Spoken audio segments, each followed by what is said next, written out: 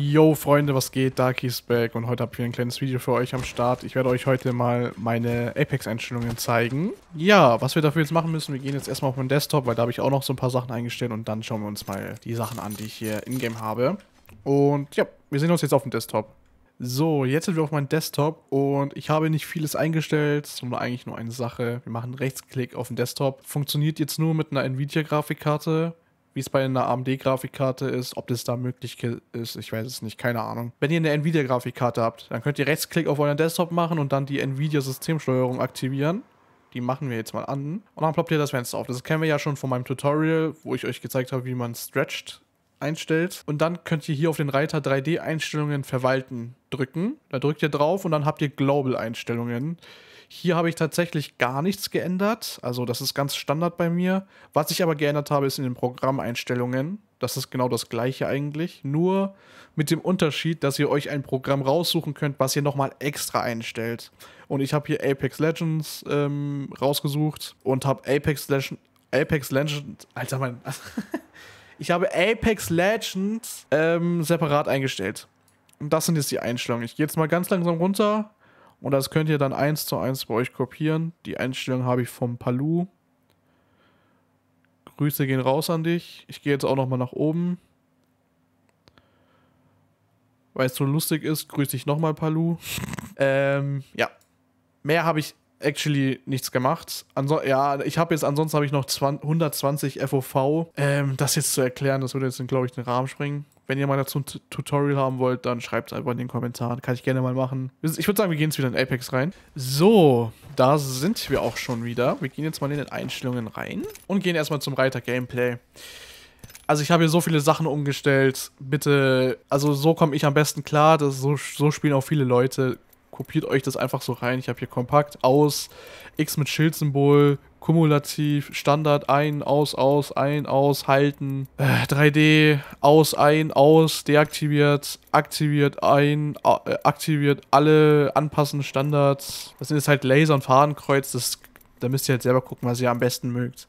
Farbenblind-Modus habe ich auf aus, Untertitel, das ist ganz wichtig, habt es auch bitte auf aus, weil Untertitel in Apex, das geht gar nicht. Und dann Untertitelgröße auf normal, aber das ist ja eh, eh egal, wenn ihr Untertitel auf aus habt.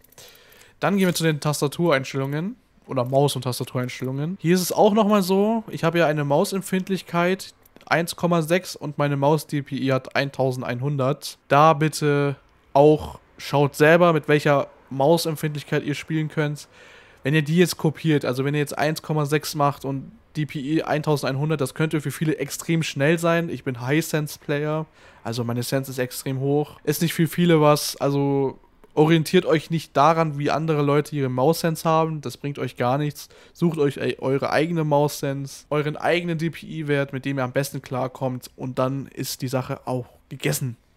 Genau. dann habe ich hier wieder alles auf aus. Ne? Mausbeschleunigung, Maus in, äh, invertieren, Beleuchtungseffekt. Habe ich alles auf aus. Braucht kein Schwein. Dann habe ich folgendes. Ich habe vorwärts bewegen, natürlich auf W, ganz standardmäßig. Und auf Mausrad nach vorne. Das hat folgenden Zweck. Tapstraven, Movement technisch, ganz wichtig. Mausrad nach vorne. Also ist wirklich sehr wichtig. Wenn ihr Movement technisch besser sein wollt in Apex, empfehle ich euch das Vorwärtslaufen nochmal mit dem Mausrad nach vorne das ist ganz wichtig. Dann habe ich auch beim Springen nochmal eigentlich Space, was auch Standard ist, aber dann nochmal Springen auf Mausrad nach unten. Auch zwecks Movement extrem wichtig. Es ist extrem wichtig, dass ihr die beiden Sachen auf dem Mausrad habt. Äh, legt eure Waffendinge, also wenn ihr eure Waffen durchswitchen wollt, einfach auf 1 und 2, so wie es auch im Standardfall ist. Ihr müsst, gewöhnt euch einfach dran, eure Waffen mit 1 und 2 1 und 2 durchzuwechseln. Ansonsten habe ich nicht vieles geändert. Dann habe ich Ult nochmal separat auf meinem Maus, also auf meiner linken Mausseite. Ja, habe ich einfach so drinne. Waffe wegstecken habe ich auch auf meiner linken Mausseite auf dem Knopf. Ich habe ja zwei Knöpfe. Dann habe ich nochmal Schildbatterie auf 8, standardgemäß. Und dann nochmal auf X, weil 8 ein bisschen weit von meinen Fingern entfernt ist. Deswegen habe ich auf X nochmal gemacht. Kann sehr praktisch in Fights sein. Wenn ihr ganz schnell eine Bad machen wollt, euch reinziehen wollt, einfach auf X drücken, dann könnt ihr direkt die Bats rausziehen. Ja, und ansonsten habe ich gar nichts mehr eingestellt. Ich habe Pingen allgemein das ganze Ping-Zeug habe ich auf dem Mausrad, also drücken gemacht. Und ja, an die lieben Controller-Spieler, ja. ähm, viele wissen es gar nicht, aber ich habe Apex tatsächlich mit dem Controller angefangen. Ich habe, also eigentlich, bin ich ein Controller-Spieler. Ich habe durch Apex halt, durch Apex bin ich dann auf Maus und Tastatur geswitcht. Seitdem zocke ich auch nur noch Maus und Tastatur. Aber auch bei den Controller-Settings ist es so, bitte sucht euch eine eigene Set, eine eigene Sense raus, mit der ihr am besten spielen könnt. Ich habe vieles ausprobiert und am Ende des Tages bin ich auf 5.5 geblieben. 5.5 ist für mich so die beste Einstellung, was beim Controller betrifft. Die restlichen Einstellungen könnt ihr auch hier nochmal kopieren.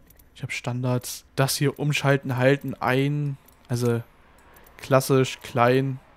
Ja, vielleicht Todeszone umsehen auf klein oder am besten auf gar, auf keine. Ist problematisch, wenn ihr einen äh, Stickrift habt dann würde ich auf klein lassen. Ja, alles auf klein und aus. Das passt dann schon. Kommen wir jetzt noch zu einer interessanten Einstellung bei mir. Und zwar Video. Ihr kennt das ja jetzt von meinem Tutorial. Ich spiele ja nicht 16 zu 9. Ich spiele 16 zu 10. Also ich, ich spiele Stretched mit der Auflösung 1728 x 1080.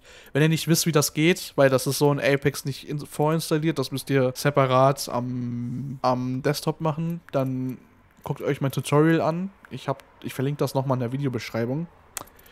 Ähm, da zeige ich euch, wie das geht und dann könnt ihr das nachmachen. Helligkeit habe ich auf 50. Ich spiele eigentlich im Prinzip 70 bis 80 über meinen Bildschirm. Ich kann über meinen Bildschirm nochmal die Helligkeit einstellen. Ich habe auch auf meinem Bildschirm nochmal so, so eine Art Color Grading draufgepackt. Nur für mich, so in den Aufnahmen braucht man das ja nicht. Ähm, ja, wenn euer Bildschirm das kann, könnt ihr es machen. Ansonsten, ich habe es halt jetzt in-game auf 50. Ich habe das nie irgendwie hoch oder runter gemacht.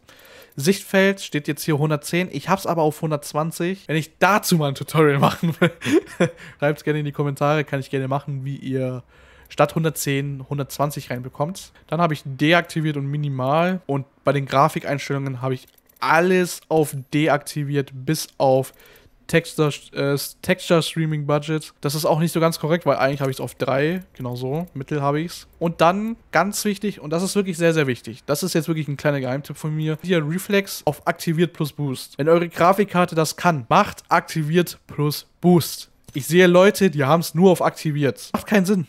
Macht auf aktiviert plus Boost. Es hat folgendes ist sogar. Wenn ihr es auf aktiviert und Boost habt, durch sogar eine bessere, ähm, kriegt ihr dadurch einen besseren ja, FPS-Boost, wenn man das mal so sagen kann. Ihr kriegt dadurch nochmal so ein, ein bisschen mehr FPS raus. Wirklich so, an die Leute, die es leugnen. Ähm, leugnet es gerne. Nein, ist aber wirklich so. Und der Sinn dahinter ist, ist die Systemlatenz, wie es halt hier oben schon dran steht. Also die Latenz bzw. der Input-Lag wird verringert. Das heißt, ihr habt wenn ihr eure Maus bewegt, dann be bewegt ihr euch in der gleichen Sekunde, beziehungsweise in der gleichen Millisekunde, wie ihr euch jetzt gerade mit der Maus bewegt. Ist tatsächlich sehr, sehr wichtig für so ein Movement-Shooter-Game wie Apex. Da braucht man das wirklich. Und ansonsten ist halt alles auf Low, genau. Audio habe ich auf 50%. Soundlautstärke 93, kann man auch auf 100 machen. Dia Diagonal, äh, Diagonal, Diago Lautstärke. Dialoglautstärke. Dialoglautstärke, also diese Lautstärke, wo die Champs dann, also die Legends anfangen zu reden und so ein Zeug ich auf 8, dass ich ein bisschen was hören kann. Musik ganz auf 0. Wirklich auch das nochmal ein Geheimtipp. Ein Geheimtipp. Also ich habe es heute mit meinem Sprachfehler. Ein Geheimtipp von mir. Bitte, bitte, bitte, bitte, bitte, bitte macht die Musik auf Null. Die Musik lenkt sowas von ab. Ihr glaubt es nicht, ihr spielt jedes Mal mit Musik, aber die lenkt so ab. Macht die Musik aus, geht in eine Runde rein, ihr spielt besser. Das gleiche bei der Dialoglautstärke hatte ich auch früher irgendwie hier so auf 50 gehabt oder so, mittlerweile nur noch auf 8. Ich habe auch sehr lange auch auf 0 gespielt, weil eigentlich braucht ihr die hier nicht, aber ich habe die einfach an, damit ich halt irgendwie den Bloodhound drehen höre. Aber bitte so niedrig wie möglich, weil das kann euch ablenken und das kann das Spiel auch richtig manipulieren, weil Steps Apex ist eh schon so ein Game, wo ihr die Steps kaum hört. Durch Musik und durch Dialog, laut Dialog, ähm, Dialoge von den Legends macht das Ganze kaputt. Viele glauben nicht dran, viele sagen, ja, kein Problem, ja, ja, aber ihr stirbt halt die ganze Zeit, weil ihr von hinten geholt werdet. Mehr gibt's nicht zum Einstellen. So, das sind meine, das sind, das sind meine... Mit den Einstellungen komme ich am besten zur Rande. Und ja, genau. Der Bloodhound verabschiedet sich wieder mit einem Feuer und sagt Tschüssi, folgt mir auf Twitch und bis zum nächsten Mal.